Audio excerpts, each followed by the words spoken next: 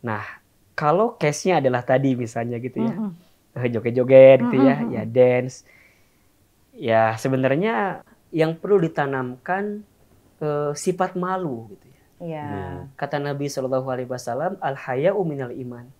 Malu itu sebagian dari iman. Hmm. Buar aku selalu memujamu, mencintaimu seperti kau mencintaiku. Buar aku selalu mengingatmu.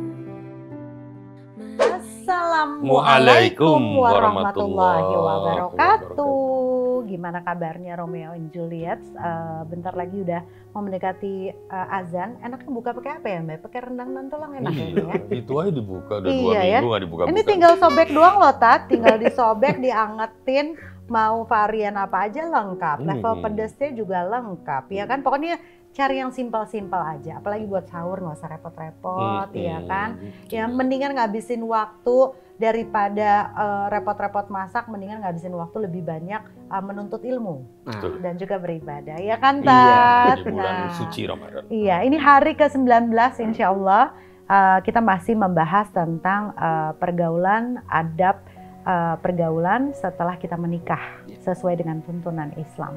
Nah, uh, Tat, sekarang kan sosial media uh, benar-benar udah udah nggak bisa kita hindarin ya Tat yeah. gitu loh. Ini kan ibarat mata pisau sosial media.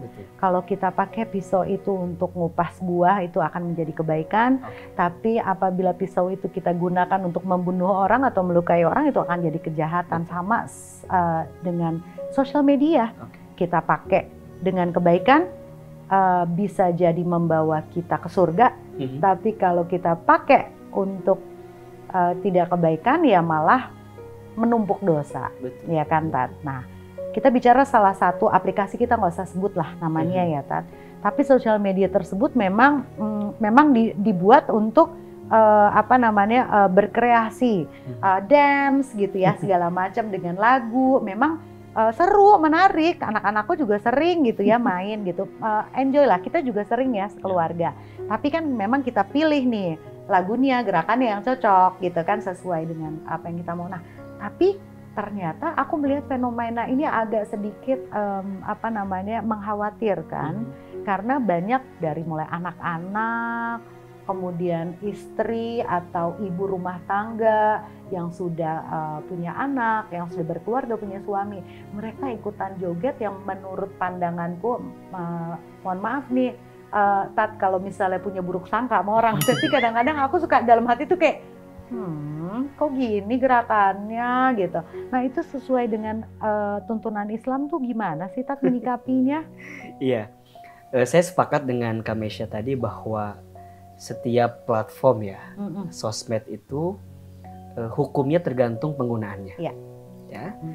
dia bisa menjadi sesuatu yang dibolehkan mm -mm. jika ada manfaat yang bisa dihadirkan. Ya. Tetapi dia malah bisa menjadi sesuatu yang buruk mm -mm. ketika mohon maaf ya ada maksiat-maksiat di situ ya. atau mengundang uh, nafsu mm -mm. ya syahwat mm -mm. yang berlebihan mm -mm. ketika menggunakan aplikasi itu. Ya. Makanya hukum terhadap satu aplikasi atau platform itu misalnya ya hmm. sosmed ya hmm. tergantung penggunaan betul yeah. tadi seperti pisau bermata dua hmm. gitu ya. Yeah. jika digunakan ngupas buah jadi baik hmm. jika dipakai membunuh orang nauzubillah hmm. itu menjadi tidak baik nah kalau case-nya adalah tadi misalnya gitu ya hmm. joget-joget gitu ya ya dance ya sebenarnya teman-teman juga udah bisa ngejawab ya tanpa iya, harus iya. saya jelaskan. Gak gitu. pantas gitu ya, iya, Tat, ya. Itu itu mengundang madorot, hmm. itu mengundang sesuatu yang tidak baik. Tapi tapi banyak suaminya yang ikutan.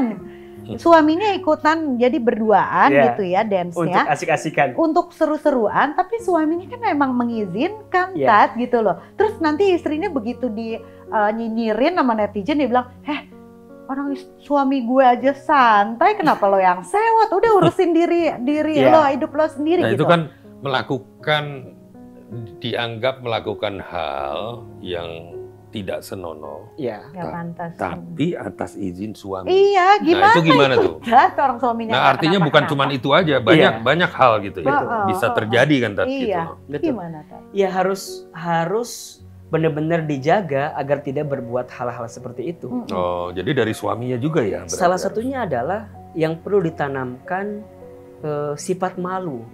Iya. Kata Nabi Shallallahu Alaihi Wasallam, al hayau minal iman. Malu itu sebagian dari iman. Hmm. Terlepas dari suaminya mengizinkan, kemudian dia hobi, dia senang. Tapi kan dia harus berpikir, kira-kira kalau aku melakukan ini, Mm-mm. akan ada hal-hal lain nggak yang memadorotkan buat diriku? Mm-mm. Hmm.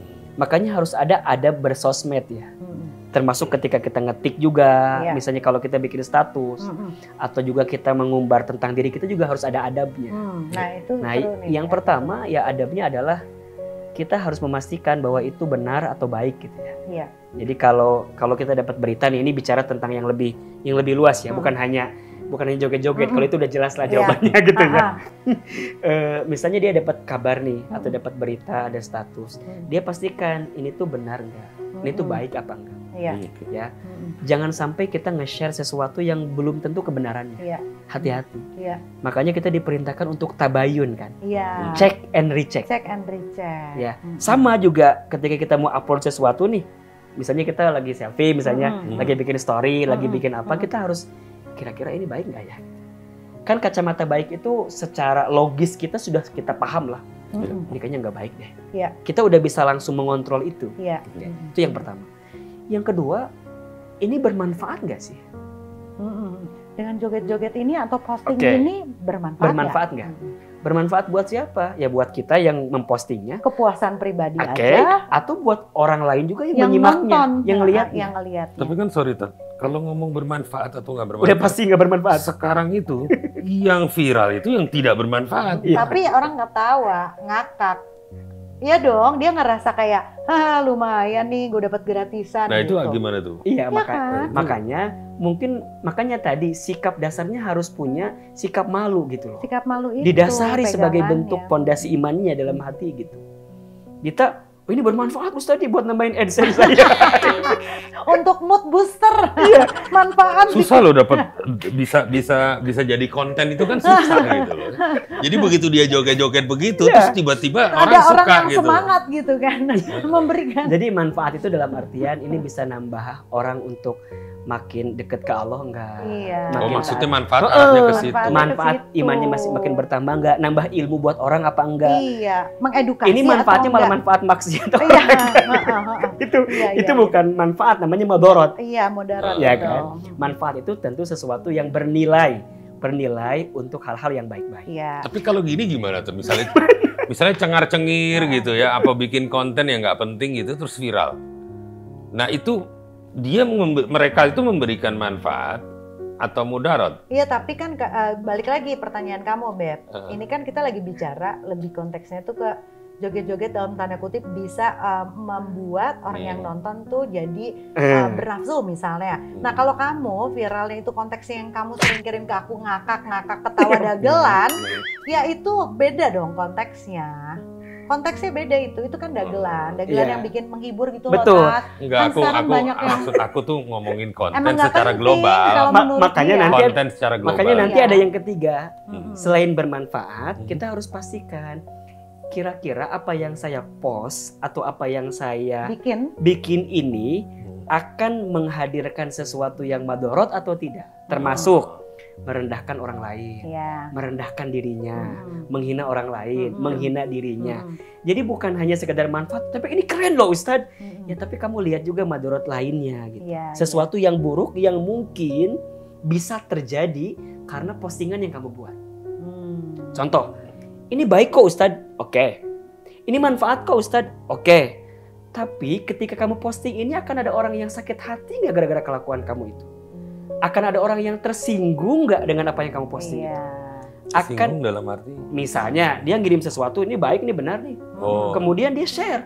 Tapi ternyata ada yang Tapi- tersinggung, Ada yang tersinggung. Ada yang membuat orang tersinggung. tersinggung. Termasuk ketika kita bikin posting, mungkin Iya. babnya bukan tersinggung ya.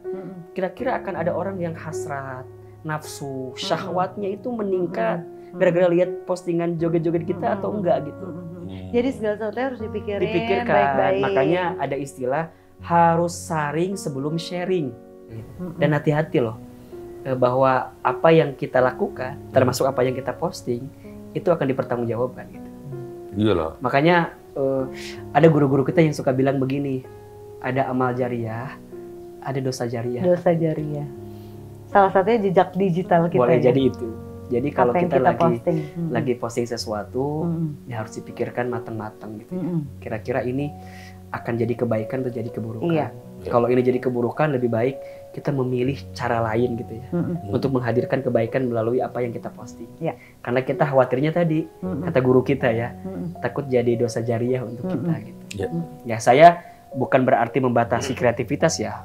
Ya Mm-mm. orang kreatif pengen pengen menghadirkan yang apa namanya? yang yang ada dalam dirinya ya sah-sah saja. Mm-mm. Mm-mm. Tapi perhatikan sikap malu gitu ya. Kira-kira ini manfaat atau madorot? Mm-mm. Ini baik atau buruk? Iya. Poin-poin itu Poin-poin. tetap harus. Makanya yang namanya sosmed, yang namanya teknologi gitu ya, internet, yaitu adalah anugerah sebenarnya dari Allah kan. Iya. Iya. Kita hari ini hidup di dunia yang serba digital, Betul. serba luar biasa, tapi jangan sampai anugerah itu disalahgunakan Iya. untuk hal-hal yang membuat kita malah jauh dari aturan Allah. Iya. kepadamu Tuhan bantu hambamu. Agar aku bisa menjadi manusia yang berserah kepadamu.